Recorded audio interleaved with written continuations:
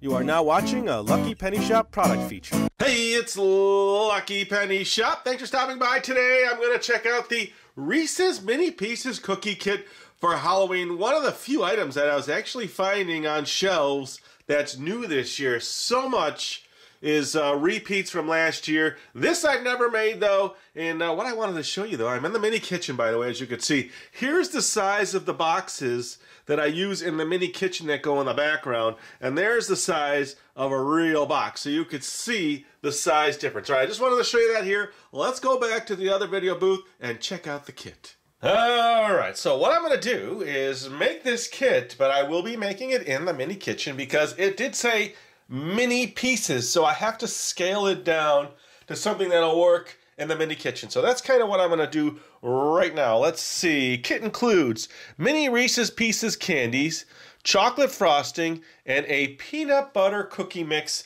Makes 12 cookies. Now, if I'm going to make those 12 cookies in the mini kitchen, it probably would make 40 mini cookies, but we'll see. Let me turn the kit around.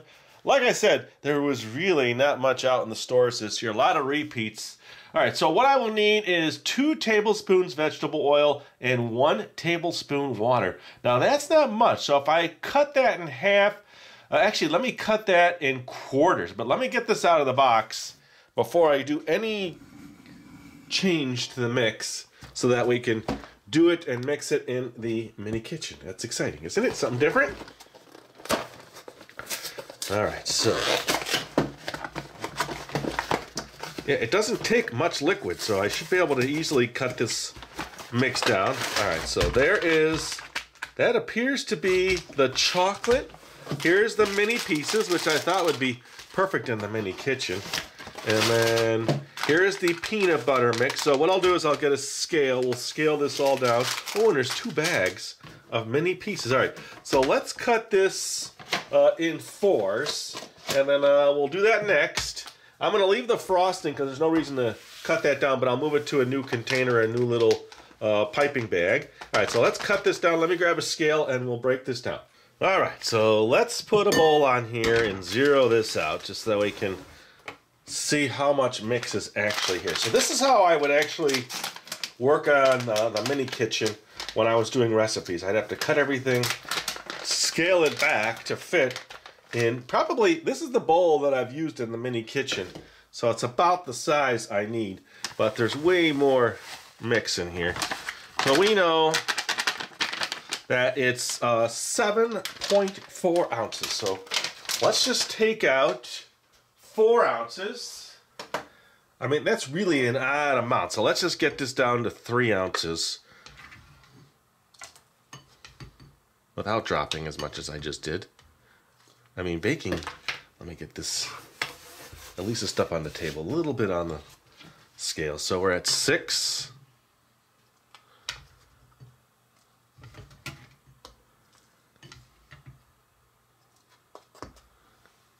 Five. Four. Oh, leave it there, actually. So we eh, let's just leave it there. That's about half. It's close enough, but it fits nicely in my bowl. So that's the amount I'm going to use. Let me zero this out again. We're actually done with this, so let's move this out of the way. So now I need to figure out the liquid. We've cut it about in half, just a little bit uh, less. I'll have to do the math after this, but we're close. This is kind of how I needed to do it. So let me get my liquids ready. All right, so I double checked here because I was reversing the math, got a little confused. We needed to be to do half of the recipe, about three something, and I would say we're pretty spot on. It might take a chunk or two out to make it absolutely perfect, but we're close. Now the oil, that was two tablespoons, so I think just one tablespoon. So this is what I would normally use for the mini kitchen of vegetable oil. So let me get that in the measuring spoon. Here we go. And I put that in there. Okay, so I know that's the amount I need for that. And then it was one tablespoon of water. I had to do the math on that, so that's one and a half teaspoons. So now I can actually take this into the mini kitchen. I'll get these in another little bowl. I'll move this to a piping bag so you can see all that. And uh, we'll start making our Reese's Pieces cookies. All right, so we have it pretty close. Uh, and then uh, here's the oil. So we got that. We know that's the right amount. I need one and a half teaspoons out of that. And then I have my little case for the uh, chocolate. And then my bowl for the little mini pieces. Let's get those in there.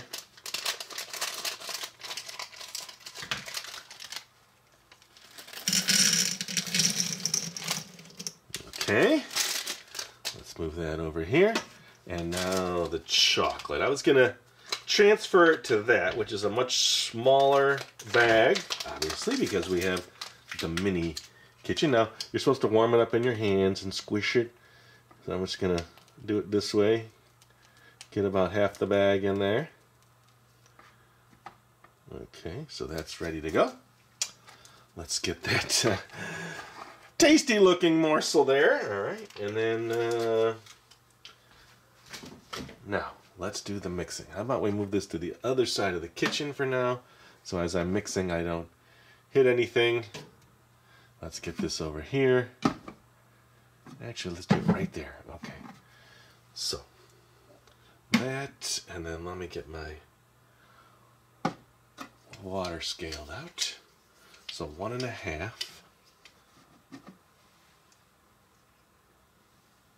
One.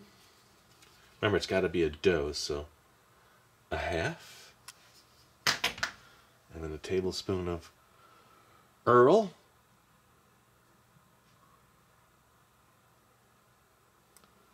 Okay. Let's mix that up.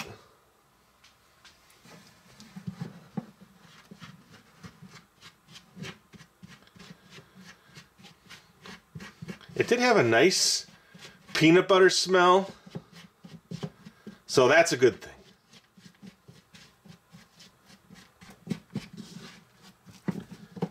Me move my little cutting board out of the way.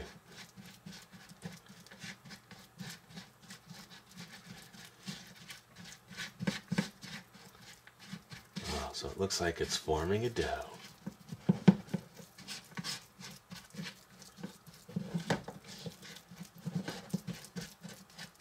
Now the good thing about having more liquid is that I can, I mean more dry powdered good, is if I added too much liquid based on my descaling, it seems like anytime you change a recipe, it never acts exactly the way you want. Okay, I think I got a lot of the chunks out. Alright.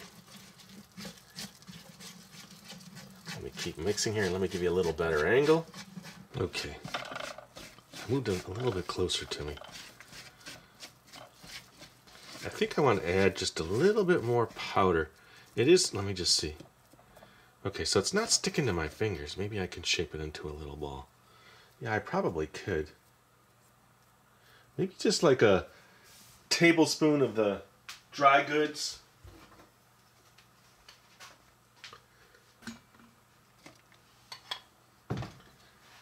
It's good, but I want it just a little bit drier. Okay, all right. I think that's better now. Perfect.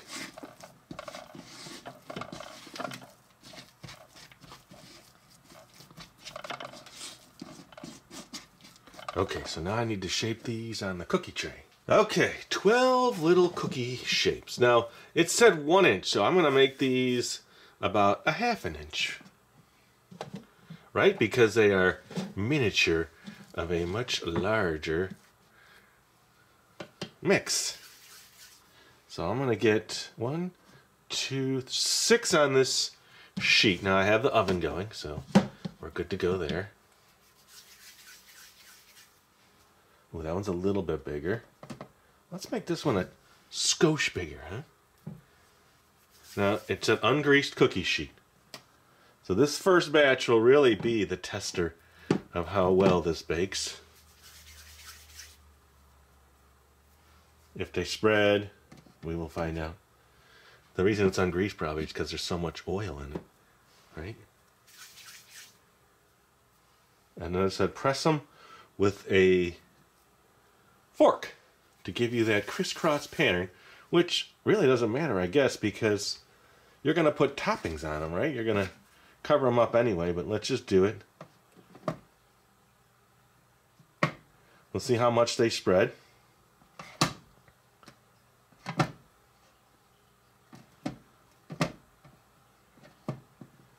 All right, it's oven time. All right, we know how hot this oven gets, so I'm going to just do a couple minutes on each side. And then I will, uh, well, I'll record the whole thing for you. Maybe you can watch it. So two minutes, and then I'll turn it around.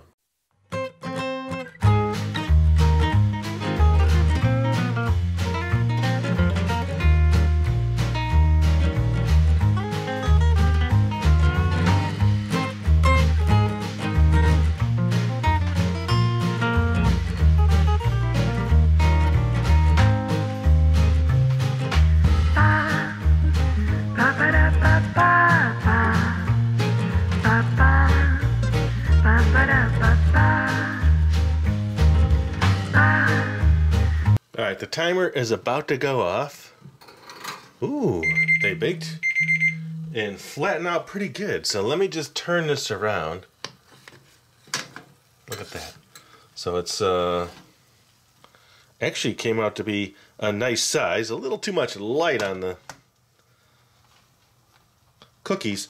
I'm thinking that uh, I brought a spacer in. This second batch or second round, let me take it off the bottom there and do that.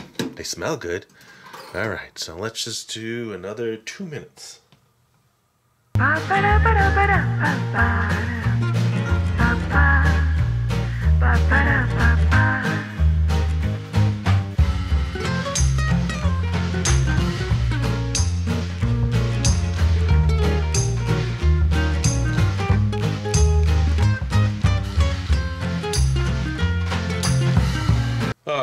I have 10 seconds. Timer's gonna go off. Hmm, they look good on the bottom. Oh, let me stop that. Okay. Actually, let's see. They look pretty good. Let me give you a better top down. They're definitely brown on the bottom. So I think what I'm going to do is let this batch cool down. The next ones I might do a little different. Let's see. I'll be back when these are ready to move to my presentation tray. Okay, I thought, well, let me test another tray here and see if one of the older trays is better. I'll only make three cookies on this next batch and we'll see.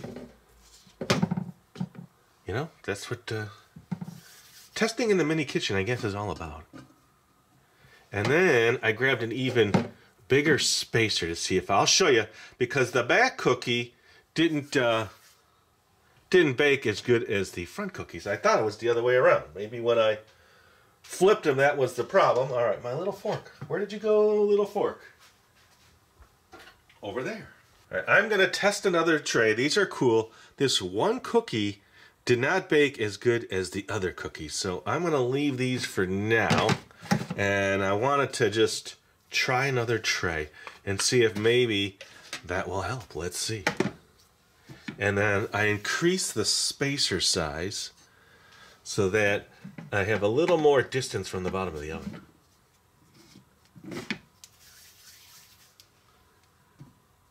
There, I can only get three on this one. I'll just use up all the dough, so I'll keep baking. I may not get everything on video for you, but, you know, give you a couple of the little exciting parts. All right, let's get this one in. I'll tell you what, let me get those other ones off the tray. I'll move this one over to the oven side. I'll move this one in. My tray in here. My spatula. Gonna have to kind of...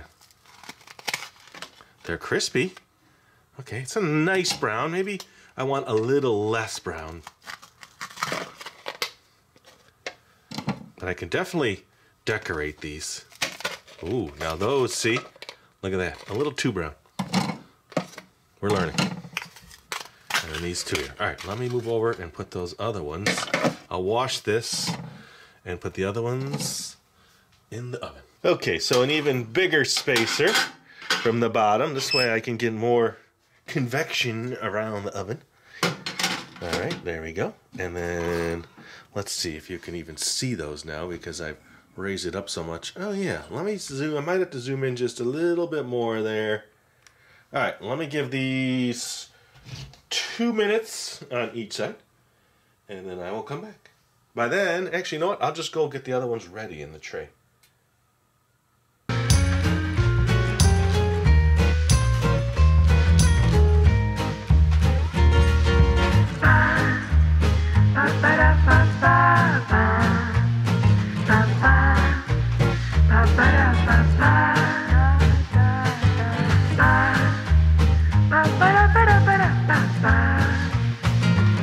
Okay, so these are looking to be baking a little slower, which is just what I need. We're at about a minute and a half. So I am going to now close that up. I think from here, it's going to be difficult to kind of show you. I have to do a lot of weird camera changes and lighting changes. This might be the last one I show you baking.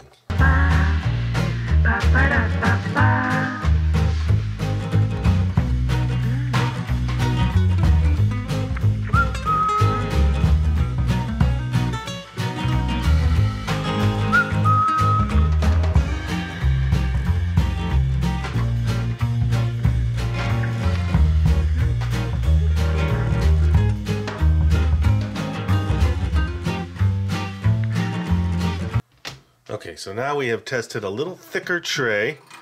Ooh, look how beautiful those look. See that? All right, so I think these are really close. I am just going to let these finish up, and then when I come back, I'll move these out. They look a lot prettier than the other ones, don't they? And then I'll retray some more on the original tray and see if it's really all about that spacer. All right, I'll be back. All right, looks like I can make some more here, huh?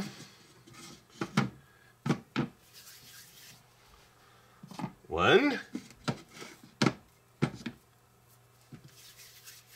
If they're going to hold their shape like that, I should definitely be able to get six on here.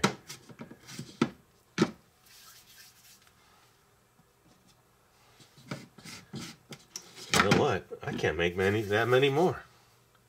I've actually probably made half the box. If you take the cookies I made, 12 is really six of the size they were supposed to be. I can make a few more. The more I have, the more I have to mess with in the samples, right?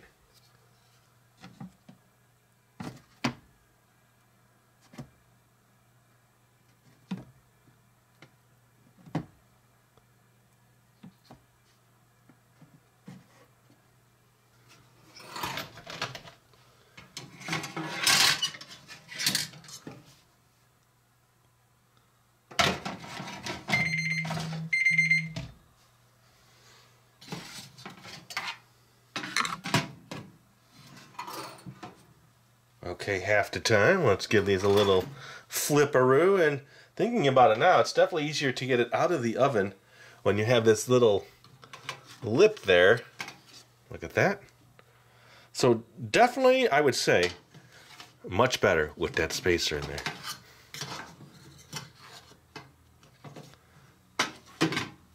Okay. This is the last set I will show you baking. Enjoy the rest of the baking process.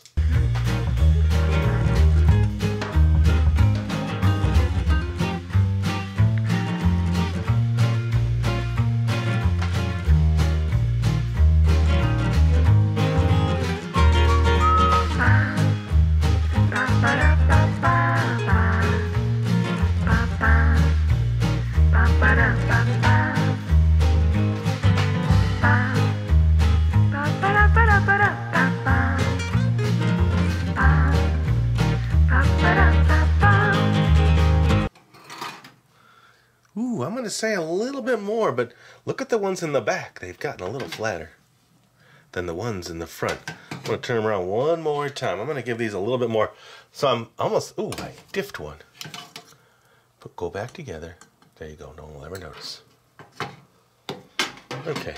I'll tell you what, let's head over to the other side of the kitchen while those finish up. Okay, so the last tray, or actually I did one big cookies in the oven. These I'm just gonna call the samplers. They don't look as nice as the updated ones that are beautiful. So let me decorate three for now while those other ones are still in the oven and cooling down. I have two batches, one in the oven and one cooling down. Oh, separate. Oh, okay. That one shot across. All right, so now it says take a bag, right, with the chocolate in it, which I have here.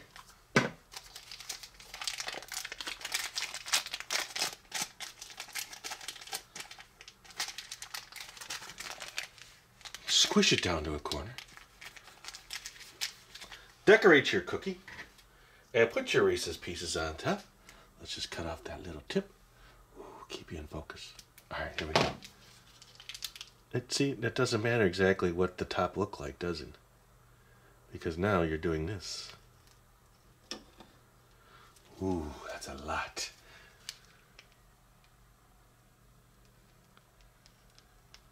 Leave it like that, and then I'm going to smush it down with my little spatula. To have to hold the cookie. Let me do it this way.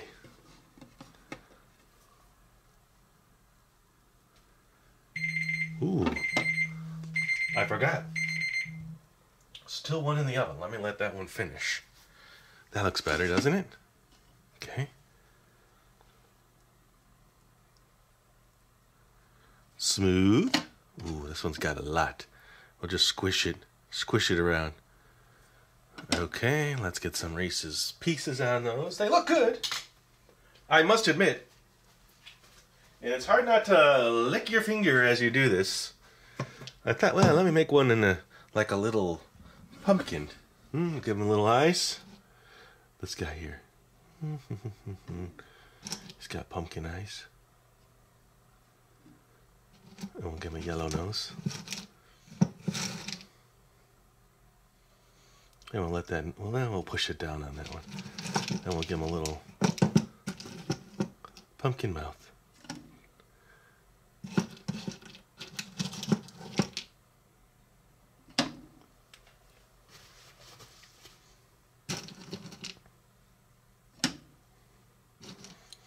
There you go. Ooh, a stray one. Okay, so there is a happy face. Because the box really just shows them all over the top. So let's do some of that. Let's just kind of drop some around. They look like the brown ones have changed color slightly. Okay.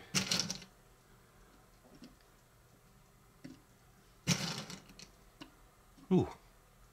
Get over here.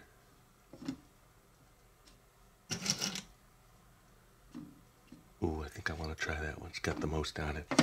All right, there's three for now. Let me grab some more here. I just had to show you the top of this one big cookie that I made with the leftovers. Look how it's just bubbling on top. That is so cool. Maybe I'll just leave that for a minute.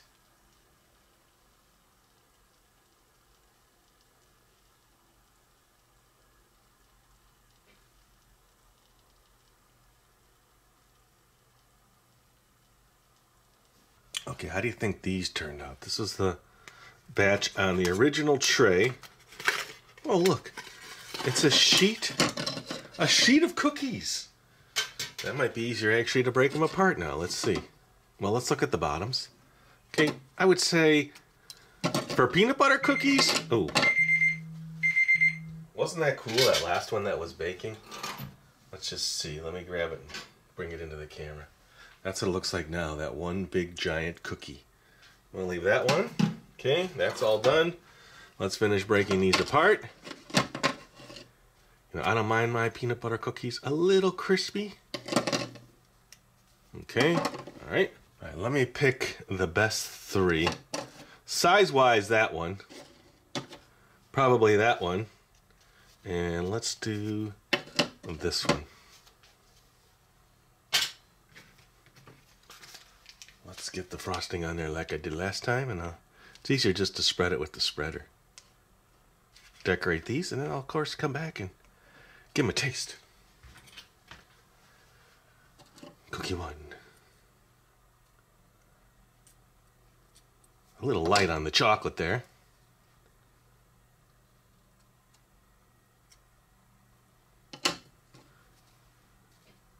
I just made the big cookie so that I can let everybody try one in the family. Right now, the last three.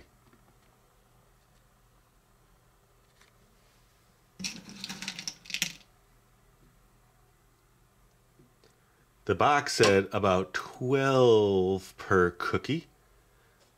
Ooh, I don't like the way you look there. That was for the one inch cookies. They probably spread to about an inch.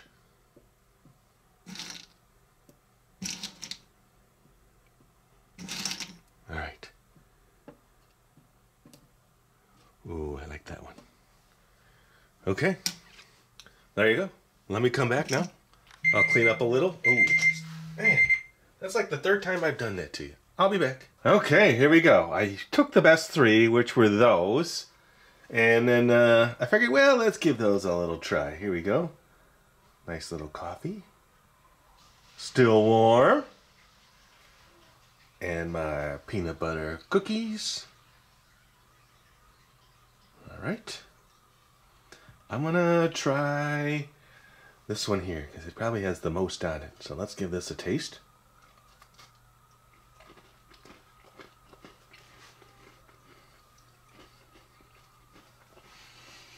Mmm.